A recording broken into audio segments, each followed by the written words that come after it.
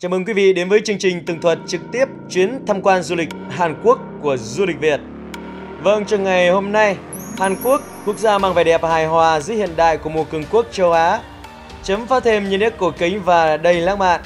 Vẻ đẹp đó được tạo nên bởi những địa điểm mà bất cứ du khách nào cũng không thể bỏ lỡ khi đến với quốc gia này.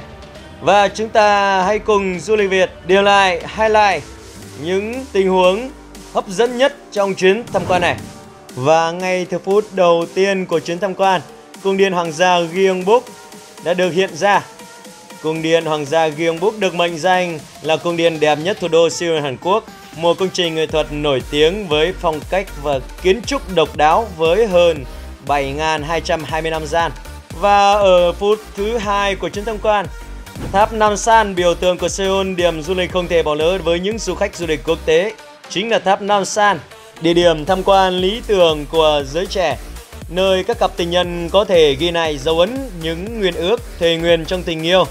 Bằng các ổ khóa đầy sắc màu Và tình huống đáng chú ý thứ ba của trận đấu là Toàn bộ du khách được được đến với công viên Everland, công viên giải trí lớn nhất của Hàn Quốc, nằm trong top 10 những công viên giải trí thu hút nhất thế giới với trò chơi phiêu lưu bảo hiểm và trải nghiệm cảm giác mạnh.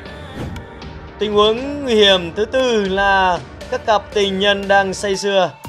trên những chiếc xe đạp đôi tại đảo Nami, đảo hòn đảo xinh đẹp và nổi tiếng với những hàng cây chuyển màu theo mùa, nơi quay bộ phim truyền hình nổi tiếng Bản tình ca mùa đông. Và ở hiệp thi đấu thứ hai của chuyến tham quan Hàn Quốc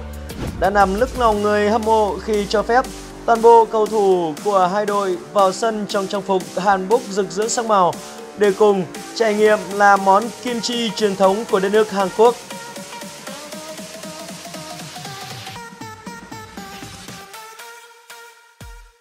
Du lịch Việt phục vụ bằng cả trái tim.